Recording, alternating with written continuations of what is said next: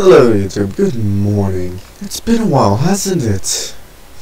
Yeah, sorry for the lack of videos, um, due to complications at my house I haven't been able to record, but hey, I'm back. Being back is always good. Uh, there will be a few changes on my YouTube, a few other tweaks and edits like that. For one, I might not be going as Alex17364 as my primary name. It's still a complete possible, but possibility. Bleh. But I'm probably not going to be doing it. I will most likely, because of the server I'm going to be using, be playing as being known as Alex, Alex the Husky. Uh, yeah. Don't like. I don't care if you pick on me for being a furry or whatnot. I really don't care. But yeah. I am back. I am recording.